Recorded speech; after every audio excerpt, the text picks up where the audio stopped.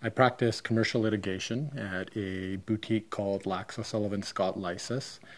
Uh, it's not the result of any long term planning necessarily on my part. I got interested in the practice of law in undergraduate, took criminology minor. Um, really became interested in criminal work actually and defense side, and that followed me through law school.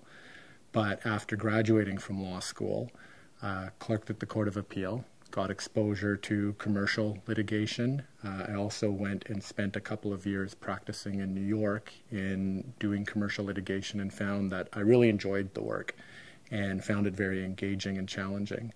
And so when I made the decision to um, to come back to Canada, I uh, looked specifically for opportunities in commercial litigation. That's what I've been doing since.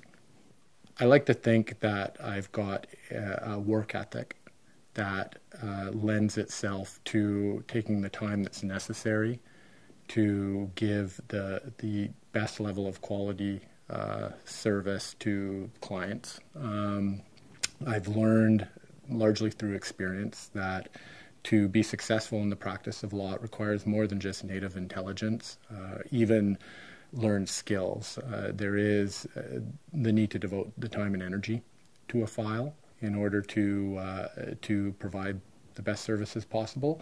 The other thing that I think that I bring to the files that I work on or the clients that I work with is um, creative thinking and really looking for creative solutions to clients' problems or to difficult files.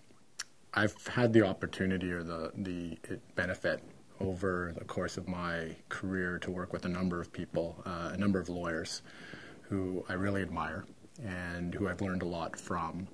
Um, amongst that group, there have been several that really stand out who really exemplified uh, leadership to me.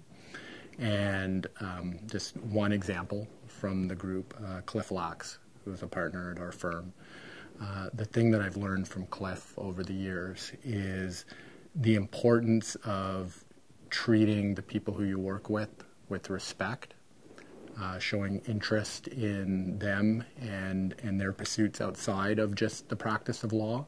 And what I've taken from that is that when you empower the people that you work with, uh, when you show them the same respect that you would ask for in return, it really does develop a sense of loyalty, and uh, and people want to do their best work for you. And so that's one thing that I think Cliff really exhibits, and there have been others, but he's one person who comes to mind in that respect.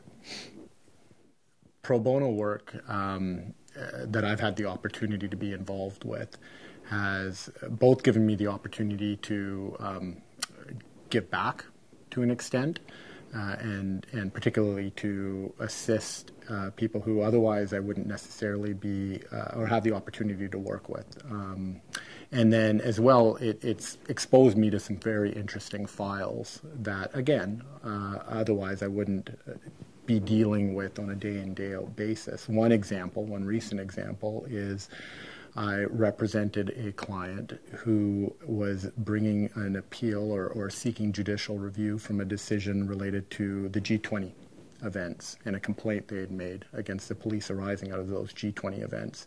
And that's not work that I typically do, but it was interesting. Um, we were able to define, uh, the client was able to define uh, individual and the public's rights under the Police Services Act. And so I think we got a good result.